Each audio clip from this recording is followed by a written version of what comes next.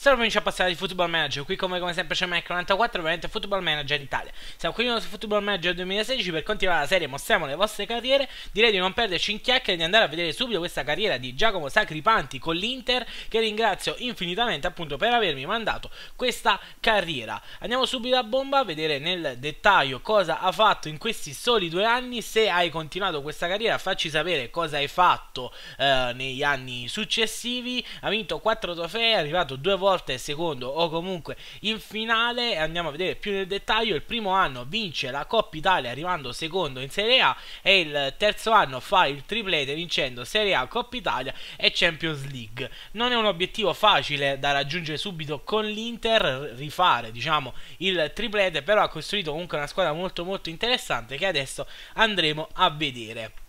Il primo anno appunto arriva secondo in campionato, come ben sappiamo l'Inter non, ha, eh, non giocava nel 2015-2016 in, eh, in, Champions League e nemmeno in Europa League, quindi si è potuto concentrare solo per la Serie A e la Coppa Italia che poi vince. Infatti vediamo però un, una bella annata comunque, ne perde veramente pochissime, mi sa che la Juve farà ancora meglio. Invece in Coppa Italia la vince 3-1 con la Roma, con gol di Luan Perisic e Icardi. Veramente complimenti, non è eh, affatto facile vincere così tanto una eh, finale con così gol, tanti gol di scarto.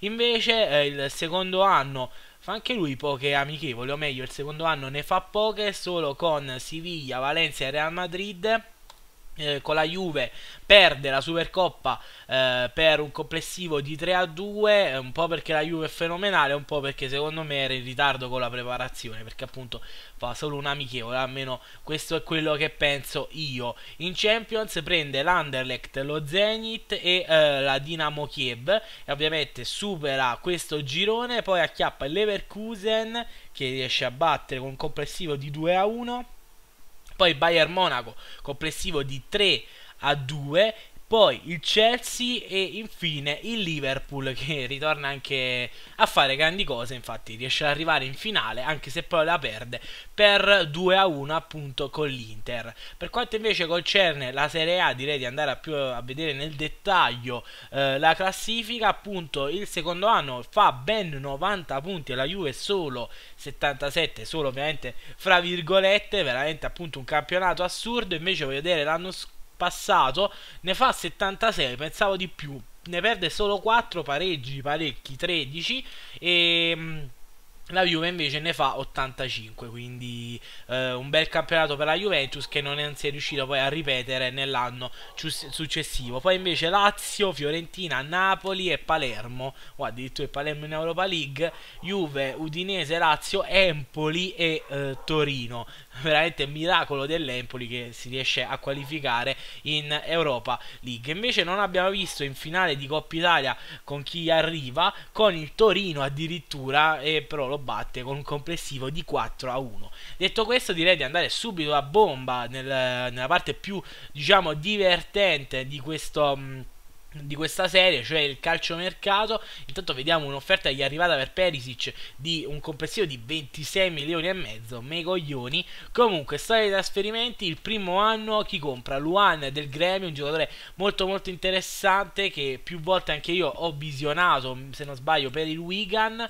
Poi Lucas Romero, un altro giocatore fortissimo, Steven Taylor, un difensore niente male, soprattutto per quella cifra così bassa. Loftus-Cheek dal Chelsea, un altro giovane che eh, a quanto pare molti di voi ci credono, però poi non è che sia questo, perché già in un'altra carriera l'ho visto, però non è poi questo giocatore così eccezionale come diciamo a FIFA.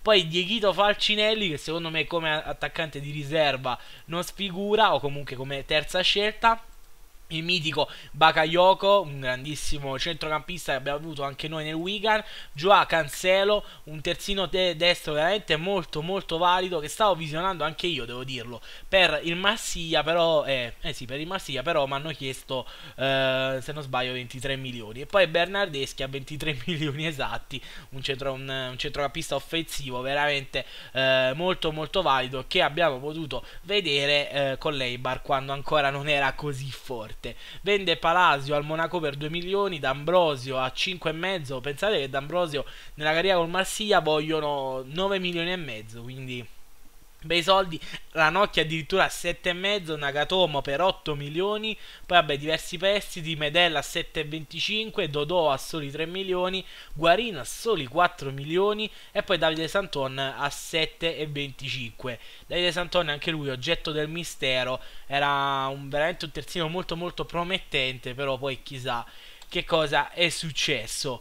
Poi eh, come acquisti prende Teyes, un terzino veramente fortissimo che abbiamo avuto anche noi nel Wigan, o meglio lo riscatta, c'è Montoya, anche lui riscatta, un altro terzino veramente molto valido, Gustavo Gomez, l'acquisto del Milan che stavo eh, per, diciamo, per, prendere anche io al Marsiglia a posto di Char però lui è extracomunitario quindi ho preferito Char e poi mi sembra anche leggermente più forte. Comunque Gustavo Gomez è molto molto valido speriamo che lo sia anche nella realtà. Eric Dolgoyas che non conosco però sembra un giocatore veramente molto valido o comunque sulla carta, poi potenziale un po' bassino, però comunque sulla carta sembra valido. Papadopoulos ottimo, Nacio dal Real Madrid lo scambia, 14 milioni più Taylor Kolasinac, ottimo, eh, lo conosciamo benissimo per la nostra carriera con lo Schalke. Iborra dal Sevilla, 11 milioni e mezzo, comunque un buon difensore, non giovane ma niente male.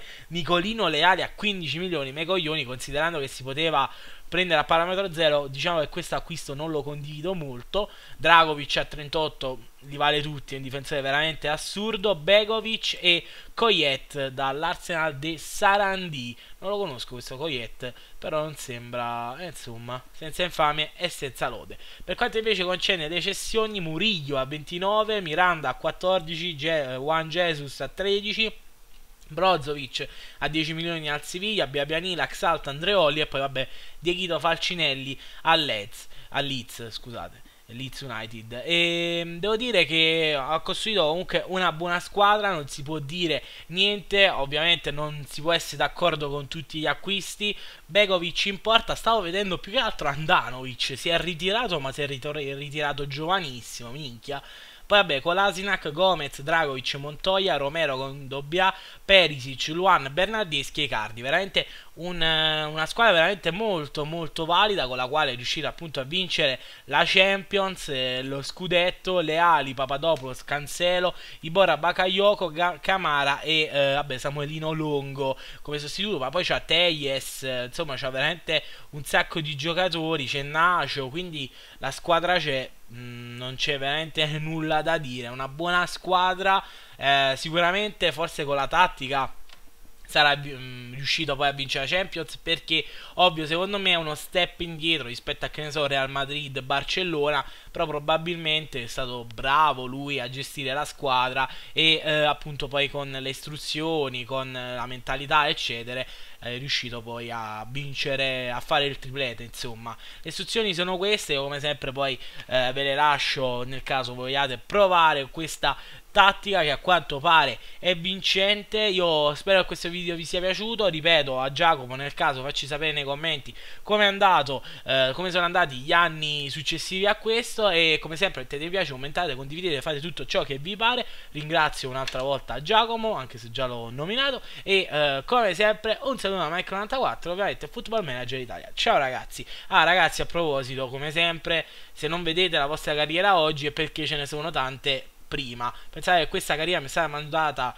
a metà maggio, quindi pensate un po'. Ciao ragazzi.